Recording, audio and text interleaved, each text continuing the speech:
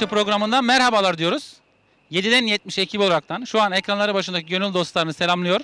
Bu haftaki programımıza Almanya'nın Dortmund şehrinden başlıyoruz.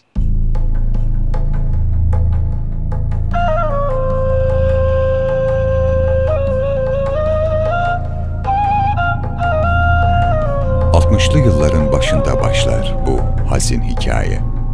Almanya, yabancı işçi alacaktır. İş, ekmek, daha iyi bir yaşam umuduyla Türkiye'den trenler dolusu hasret, ayrılık, umut taşınır Almanya'ya. Hep aynı cümle vardır dillerde. Gideceğiz, birkaç yıl çalışıp geri döneceğiz. Ama vuslatlar hep başka bahara kalacak. Vatan, yürekte bir yara olarak seneler boyu sızlayacaktır.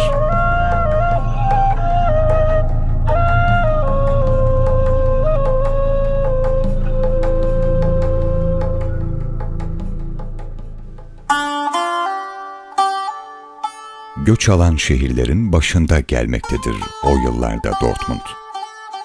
Demir ve kömür madenlerinin şehri.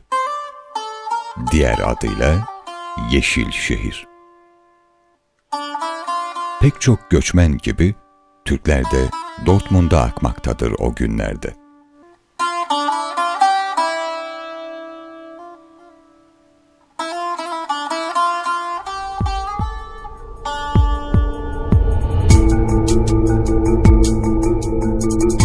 Bugün artık yaklaşık 580 bin nüfusu içinde barındıran Dortmund'un nüfusunun yaklaşık 41 bini Türklerden oluşmakta. Diğer ülkelerden gelen göçmenlerle nüfusun 70 binini yabancılar kaplamaktadır. Ruhr bölgesinin birinci, Almanya'nın yedinci, Avrupa Birliği'nin 33. büyük şehri olan Dortmund'da da kömür ve demir madenleri işletmeciliği yaygındır. Göçmen nüfus ise tekstil sektörünün bel kemiğini oluşturmaktadır. Tüm Almanya'da olduğu gibi İslam resmi din olarak kabul edilmemektedir. Göçün ilk yıllarında ne yazık ki Müslüman azınlık büyük zorluklar çeker. Sıla derdi, ekmek kavgası bir yana, hasret kalınan bir başka şey vardır. Ezan sesi. Cumalarda, bayramlarda toplanacak ve ibadet edilecek camiler. Dortmund Müslümanları kendi imkanlarıyla kiraladıkları sinema salonlarında, bankalarda, kimi zaman da 40 kilometre uzaklıktaki kömür madenlerinde eda ederler. Cuma ve bayram namazlarını. Ta ki 1973 senesinin Kurban Bayramı'na değin.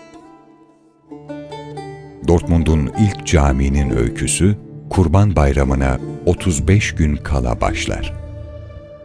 Cemaatsizlikten terk edilmiş bir kilise ve ibadet etmek için bir mekan arayan binlerce Müslüman. Annesi olmayan bir öksüzle yavrusunu kaybetmiş bir annenin kavuşması gibidir o bayram. Çünkü kilisenin papazı bu temiz niyetli Müslümanlara ibadet etmeleri için terk edilmiş kilisenin anahtarını verir. O anahtarı papaz efendiden teslim alan Ahmet Coşar, bakın o günleri nasıl anlatır.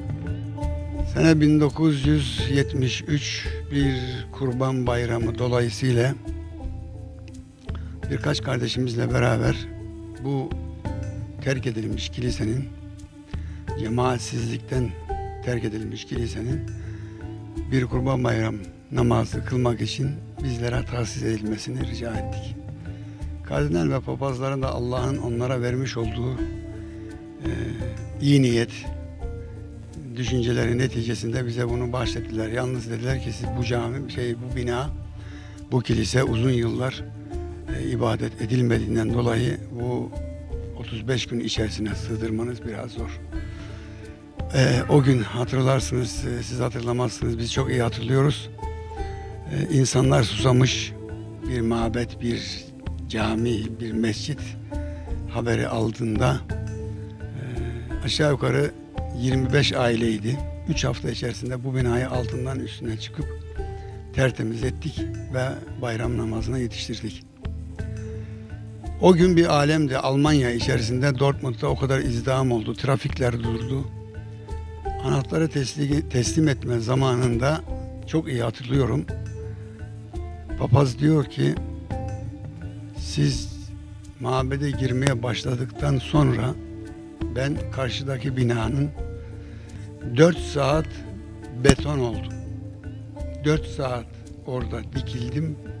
Hiç kıpırdamadım. Yaşım 70'in üzerinde. Hiç de rahatsızlık, yorgunluk hissetmedim. Bu kadar haz verici, bu kadar aşkla, şevkle, zevkle Allah'ın evine koşan cemaati görmekten gözyaşlarıma mani olamadım. Bütün ağırlığımı ortaya koyacağım ve bu Allah'ın evi gerçekten Allah'ın evi ise o zaman siz de Allah'a ibadet ediyorsanız anahtarı size geri iade edeceğimi söz veriyorum dedi ve o gün bugün bu mabet Allah'ın izniyle Müslümanlara hizmet vermektedir. 1966 yılında Türk İşçileri Derneği olarak açılmış olan dernek, 1973 yılında Cami Derneği olarak devir alınır. Ve Dortmund Merkez Camii'nde ibadet, 1973 senesinde okunan o ilk ezanla başlar.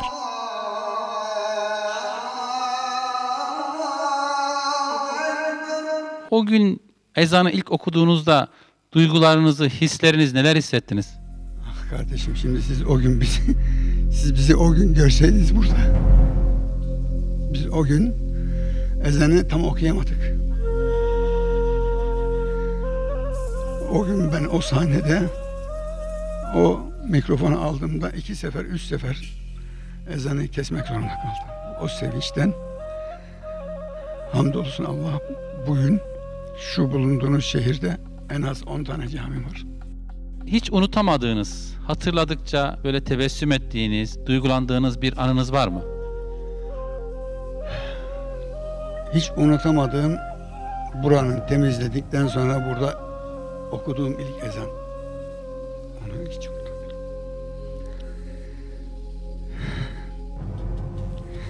İkinci sevincim anahtarı papaza götürüp biz görevimizi yaptık, teşekkür ederiz diye teslim ettiğim zaman o da bu bina Allah'ın evi ise ben de bütün gücümü ortaya koyacağım. Bu bina Allah'a hizmet etmeye devam etsin diye anahtarı iade ettiği anı hiç unutamam.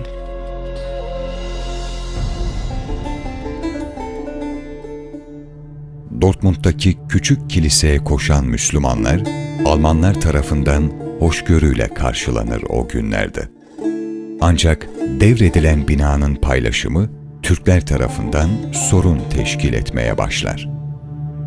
Derneğin ilk kurucuları, derneğe tahsis edilen binanın alt katını meyhane olarak işletip üst katı cami yapma teklifiyle gelince bir ibadethaneye kavuşmanın sevinciyle durulmuş ruhlar dalgalı bir deniz gibi karışı verir. Fırtınalı günler vardır şimdi camide. O günün olaylarını unutamaz cami cemaati. 40 sene sonra bile bugün gibi hatırlarındadır hala. 1973 yılında Dörtmoda geldim. Tabii o zamanlar caminin bu üst yüksek tarafında alınan kilimler vardı. Aşağıda kilimler falan da yoktu. Buradaki camideki din görevlileri, hocalar eee, ilk kuşak gelen Türk kardeşlerimizin arasından seçilmiş bu işin ehli olanlar namaz kıldılar. Elinden gelenler müezzinlik yaptı. Böyle bu şekilde devam etti. Ben 1973'ten 76'ya kadar bir cemaat olaraktım. 76'da yönetim kurulundaydım. Yedekteydik. Sonra sekreter olduk, yazıcı olduk. Birkaç sene muhasiplik yaptık. 83'te başkanlık yaptım. 90 91'de iki sene başkanlık yaptım. Ee, Peki o zamanki e, yönetimdeki olduğunuz dönemde hiç unutamadığınız bir anınız var mı camiyle, cemaatle? Cemaatlerin arasında o zamanlar cemaatler unutamadığım şeyler pek iyi anlaşamıyorlardı. Bunlarla bazen çok hoş olmayan, nahoş olan durumlar oldu. Ve bunları unutmuyorum ama tekrar geri gelmesini, tekrar böyle huzursuzluk olmasını istemiyorum. Şimdi bütün cemiyetler, bütün camiler hepsi birbirinden çok çok daha iyi, güzelce kardeşe geçiniyor. Devamını Allah'tan niyaz ederiz. Olaylarda sağduyu hakim olur ve cemaat kilise binasını kiralayarak ibadetlerini burada eda etmeye başlar. Şiper kasanın orada cuma namazlarımızı dışarıdan kılırdık. Bir. Vakit namazlarını da ben hayımda kalırdım. 251 hayımda iki buçuk odam var idi. Cami haline getirdim. Namaz kılan kardeşlere orada hem müezzinlik yaptım hem namazlarını kıldırdım ve hem de orada ibadetlere yer açtık. Evlerimizden kıldık. Yani böylece camiler oldu. Camiler olduktan sonra camilara taşındık. Şimdi Diyanete karşı buraya geldik. Diyanetin düzgün hal ve hareketleri hocalarımız, başkanlarımız, yöneticimiz iyi Allah razı olsun yani idare ediyorlar. E biz de tabii ki onlara idareden katkıda sağlanıyoruz. Bu kadar başka ne anlatayım? إن كانت إلا صيحة واحدة فإذا هم خامدون Artık Dortmund Merkez Camii Derneği'dir burası. Bugün 500'e yakın üyesi bulunan dernek, sükunet içinde ibadetlerine devam ediyor. Tüm Almanya Müslümanları gibi Dortmund Müslümanlarının en büyük hayali ise sokaklarda ezan sesi duyabilmek. Bunun için 2015 yılını bekliyorlar. Çünkü 2015 yılından itibaren günde bir vakit olmak üzere ezan açıktan okunabilecek. 419 inci taneleri ile kurulan bir dernek var. 1966. 1966 senesinde derneğimiz Türk İşçiler Cemiyeti adı altında e, kurulmuştur. 1966 senesinden e, 1973 senesine kadar e, bu ad adı altında derneğimiz devam etmiştir.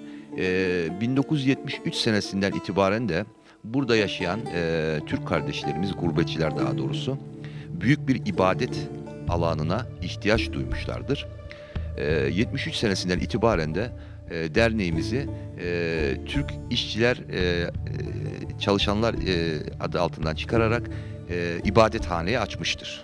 Aynı zamanda da e, DİDİP'in e, ilk kuruluşu da burasıdır. E, buradan e, bütün hizmetleri buradan e, dağılmıştır. E, Almanya e, çapına Türkiye'den gelen e, kitap, kitaplar olsun, e, çeşitli e, nesneler olsun e, ilk olarak buraya geliyor ve buradan e, dağıtım yapılıyordu. Müslümanlara cami olarak hizmet veren binayı bugün çok sayıda gayrimüslim ziyaret edip İslam'la ilgili bilgi alıyor. İbadetleri izliyor ve cemaatle sohbet ediyor. Dortmund Merkez Cami Derneği, dinini öğrenmek isteyen pek çok çocuk ve gence de dini eğitim sağlıyor. Kur'an-ı Kerim dersleri dışında dernek, gençler için kültürel ve sportif faaliyetler de düzenliyor. Efendim e, programımızın bu bölümünde e, bir kardeşimiz, hanım kardeşimiz aslında e, birinci nesil değil kendisi ama birinci neslin dertlerini anlatan bir şiir yazmış. Onu okuyacağız. Ee, Bismillahirrahmanirrahim. Ee, Ben Sena Altın. Dortmund'dan e, öğrenciyim, üniversite öğrencisiyim. Dinimizi geleneğimizden ayırdık. Kur'an'la, hayat gibi. İslam'la Müslüman'a ayırdık. Irklara bölündük. Bir yanımız Türk, diğer yanımız Avrupa. Her yanımız çelişki, kuramadık dengeyi. İçimizdeki benliği, kimliği oturtturamadık veya oturtturduğumuzu sandık ve öyle yaşadık. Bir taraf gelenek diye yanarken diğer taraf Avrupa kültürüne kaydı. Ne kendimiz olabildik hakkıyla ne de onlar gibi. Çoğu zaman işimize geldiği gibi Avrupa'nın rahatlığını, törelerin sınırlarını benimseyerek inandığımız gibi yaşayamadık. Yaşadığımız gibi inanmaya başladık. Nasıl yaşadığımızı, inandığımızı sorgulamayı unuttuk. Önce hep döneceğiz vardı. İçimizde ait olduğumuz topraklara. Anlamadık ki her yer toprağımız. Unuttuk tarihimizin Osmanlı'yı kapsadığını ve Almanya'yı destekleyenlerin Türkler olduğunu. Gençlerimiz göçle işçi akımıyla tanıdı Türklerin Almanya gelişini. Aslında biz hep vardık ve var olacağız. Biz oldukça memleket de olacak. Çünkü memleketi vatan yapan, onu taşıyan gönüllerdir. Gönülde taşımalı o Anadolu toprağını. Efendim Sena kızımıza teşekkür ediyoruz. Ee, yüreğine sağlık, gönlüne sağlık diyoruz. Yolu bahtı açık olsun. Ee, programımız dolu dizgin devam ediyor. Bugün dernek, Diyanet İşleri Türk İslam Birliği'ne bağlı olarak hizmet vermekte. Almanya genelinde DİTİB'e bağlı 970 kurum ve kuruluş mevcut. Caminin din görevlisi ihtiyacı da Diyanet İşleri Başkanlığı tarafından sağlanmakta. Bugün Dortmund'da 30'un üzerinde dini kuruluş ve 10 cami derneği mevcut.